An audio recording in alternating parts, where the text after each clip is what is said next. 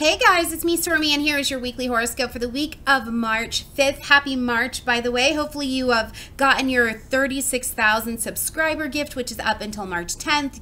Hopefully you're signed into classes, $3 Thursdays, lots of good stuff going on. Check the description box down below. Man, what a week this week. It is busy. We have a lot of change happening this week. We've got Mercury and Venus changing signs, Jupiter's changing directions. We've got daylight savings time. Mars and Uranus are going to come into a trine this week, so we've got a lot of action going on this week. So don't freak out. Let's just talk about it piece by piece. Okay, so first and foremost, we've got Venus and Mercury both both moving into the sign of Aries. So this is a sign change. Whenever we have a sign change, there is just kind of a different feel to the energy. It can be a little bit like a stutter step, especially because Mercury is moving into Aries, but it's moving in a shadow capacity because it's getting ready to take its retrograde in just a few weeks, right? So Mercury is really still not at full blast. It's definitely in the shadow time.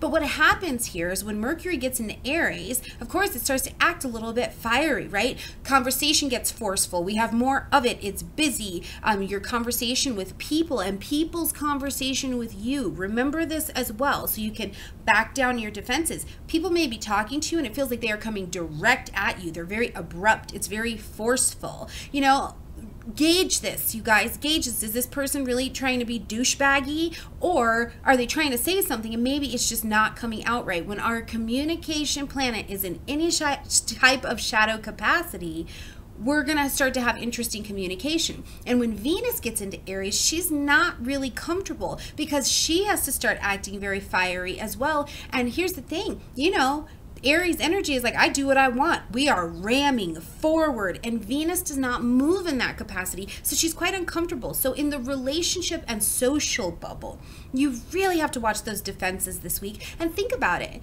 Think about what you're saying to other people. You know, you want to speak directly, you want to speak forcefully, you want to speak abruptly, speak love to people, speak joy, speak humor to people this week, right? Try and work on that because other than that, your defenses are going to be up. Somebody says something to you, and you're like, you know, and we don't need all of that. Now, where this is also very, very good is that your communication will be getting some things done. You've had enough, you're ready to move some things forward, and Venus will help to put a little bit of butter on there, okay? She is still Venus, so in her own way, she's shining big, she's shining bright. She will try and bring diplomacy, but she's also going to get on board with Mercury because they like to travel together. And she's going to say, mm, I know, I get it, but we got to get stuff done now, but we don't have to be, you know, hateful while we're getting it done. So Watch that speed up that's going to happen. Now, one of the other things that happens for sure here is that I would tell you to watch your, not just your social relationships, but watch your romantic relationships as well. They probably didn't mean what they said. If, if they said something and you took offense to it, they probably meant it another way. You know what I'm saying? So consider that this week, okay? Now, on Thursday, the 8th, March 8th, Jupiter is going to turn retrograde and it's going to be retrograde for four months. Now, Jupiter's been in Scorpio, so giving us some depth and some expansion to our intensity, emotional intensity, bringing these fears that we've had up to the surface so that we can work on them and just bringing wisdom all around for our healers and teachers in the meta metaphysical spaces. Um, there's probably been a lot of shift in your energy. You've probably been noticed maybe more students or more information coming your way or more um, desire to talk or to speak or to teach or to do something like that. And that is amazing because that level of intensity creates change. Now, when Jupiter takes this retrograde in Scorpio, we're going to go back inside, right? Where is your emotional intensity? What is coming up for you? What is your inner guru saying for you? What is the wisdom you've learned and you're seeing about yourself as you're changing and as you're moving forward and you're watching yourself do new and different things?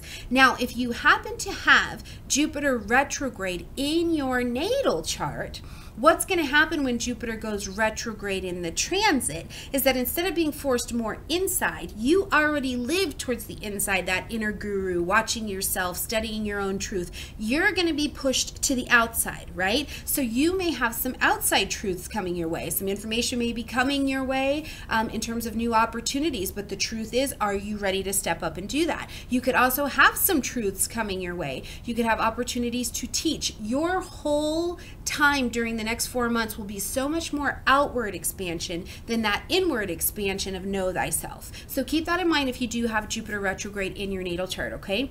Now, when we get to Sunday, March 11th, we've got Mars and Uranus in a trine. And what's interesting about this is because when these two interact, depending on their aspect, it can be warring, it can be awesome. This happens to be awesome, and it's a little bit um, unusual because Mars wants action here, right? He wants to go, he wants to do his thing, and Uranus is like, I'm good, let's do a thing, but we're gonna do it different, okay? And so this is a great opportunity for you to try to do some things unexpectedly, differently, spontaneously. Get out of your bubble. Remember, Uranus breaks down the structures we have if you've been in a rut, right? Because he's also very intuitive. He's like, oh, I just can't be here anymore. I got to do something different. So if that's the way you've been feeling, or you've been feeling like nothing's working, or hell, even if you've been feeling like my life is so freaking good right now, I can't even. Okay, great. Go do something different. Talk to somebody different. Move your body differently. Take the opportunity this week to experience the different of what's going on. Plus, you know you've got this fierce conversation out there. Might as well use it this week to go talk to some new people. Get your product out there a different way. Write your paper differently. Whatever it is and however this hits your individual charts, use this energy to break out of your comfort zone and break out of your norm.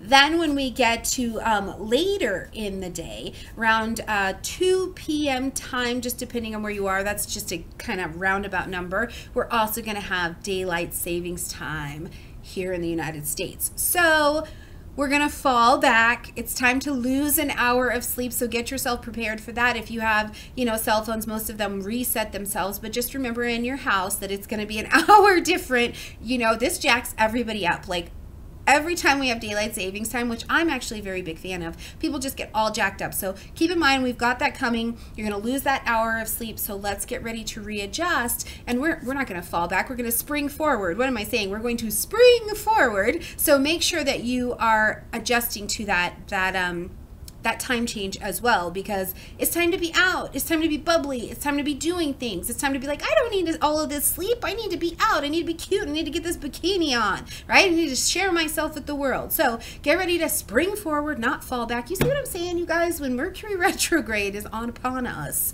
things get crazy. All right, guys, it's going to be a busy week. It's going to be a cool week. I'd love to hear about what you're doing different. I'd love to hear about how this is hitting your personal charts. If you don't know what in the heck I'm talking about when I say it's hitting your personal chart, come visit me, get a reading, go see Barbara, go see Terence, go see Michelle, go see somebody and let somebody walk you through what's going on in your chart and give you some good, beautiful, delicious guidance. All right, guys, I love you a ton. Like this video, comment, share, subscribe, and I'll see you next week.